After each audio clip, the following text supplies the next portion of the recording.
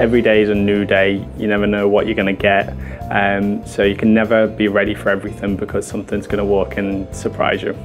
One of the strangest cases I've seen was um, a dog that came in with a huge abdomen and when we ultrasounded it, it was just the weirdest image that we'd ever seen. Like it was just fluid but there was like spindly bits and it was just so strange.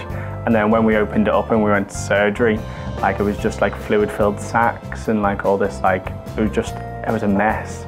But it was so interesting because we'd not seen anything like it before and like all of us were stumped. Um, so it was just, yeah, completely weird. I am pretty good at throwing some shapes. Um, at one of the staff parties, I think me and Marie were having a dance off and everyone was just standing around cheering us off. So that was quite amusing.